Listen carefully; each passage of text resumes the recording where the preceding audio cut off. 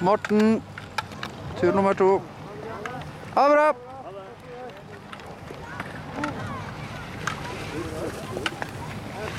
Bedre, men jeg føler at det er litt farlig.